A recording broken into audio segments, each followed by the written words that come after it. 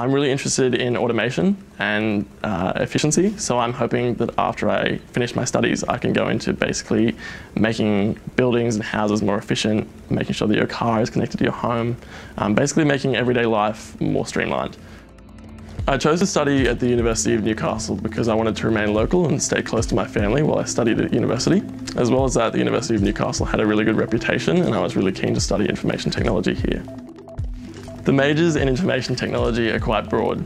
We have digital media and entertainment, enterprise information technology, data analytics, and software development and applications, which is my major. I really enjoy my major because I can go home after every day of study and I can program something new.